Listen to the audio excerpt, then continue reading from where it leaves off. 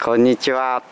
こちらこちらは新島国森これからこの100年記念と解体阻止のポスティングを始めたいと思います。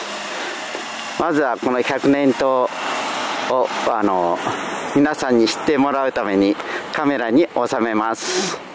皆さん今日はよろしくお願いします。よろしくお願いします。これから公園の中はちょっと探索に行ってきます。この案内板が建て替えられた新しくなった案内板です。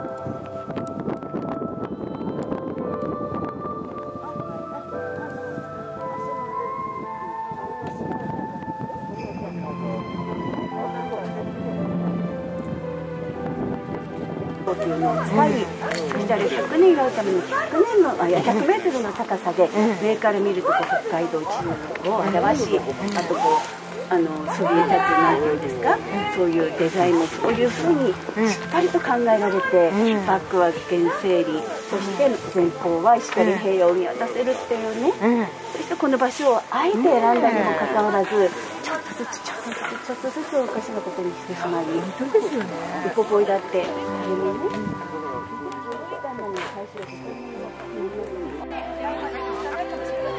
ということでこの記念塔は絶対守りましょう。守ります。皆さん応援よろしくお願いします